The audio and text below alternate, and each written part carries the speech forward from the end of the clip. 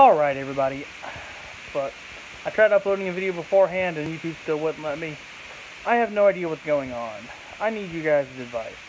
I want to keep streaming, but between the crashes and YouTube having errors during the stream, I can't even put out maybe even any kind of content. 30 minutes or so isn't a stream. An hour isn't a stream to me. And I don't know what to do. I know you guys are hearing a lot of background noise, and I know it's the phone. I don't know what's going on with it.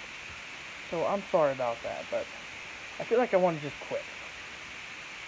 I, I really do.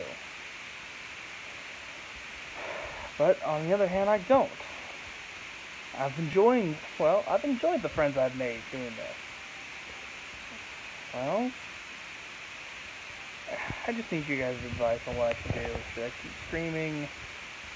Should I just try and wait, see if my system will do, will cool down maybe with my internet or something? And also, I need your advice on what games to even play. Things keep happening, because each time I'm like, okay, I'm going to get back on in an hour. And then no, family pops in. In between streaming, guys, I'm, I'm just typing up work for college. Ain't my work, but somebody else's. just me some advice. Just write down the comments. And for those that actually made it and listened this far, I thank you. I honestly thank you. Have a good day, everybody. Hopefully I'll talk to you all in the comments.